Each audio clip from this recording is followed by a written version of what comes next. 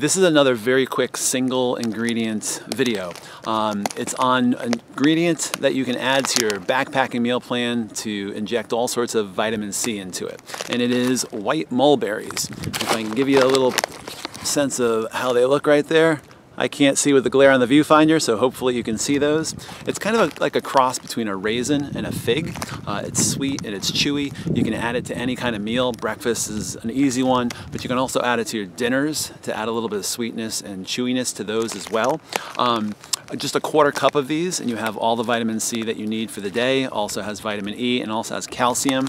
And again, calcium is one of those things that we think of, you know, grow strong bones. It's needed for a lot of other processes in the body as well that are important to keep you going on a long hike, uh, backpacking trip, through hike, that sort of thing.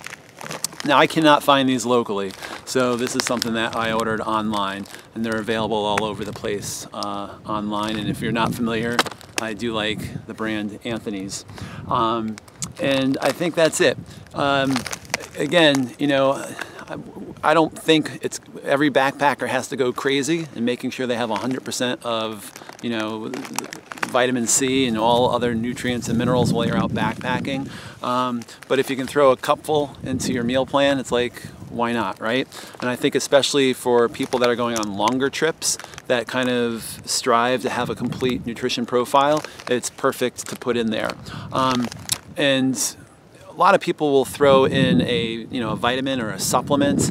And again when you're when you're eating real food your body just has a better chance of absorbing it.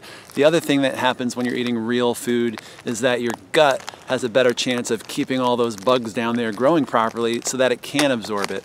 So if you're eating the typical sort of backpacking meal plan of just you know kind of you know just a lot of carbs calories and that sort of thing and eventually your, your gut burns out and all that bacteria and all those other microbes aren't available anymore to process the food. So you could take a vitamin or a supplement but you know it just goes right through your system because you need all sorts of other um, eh, you know micronutrients in order to process that. So if you can get it from real food, I suggest getting it from real food. Um, and so again, white mulberries, uh, good for vitamin C, E, calcium, has like three grams of protein in it. Uh, try it out.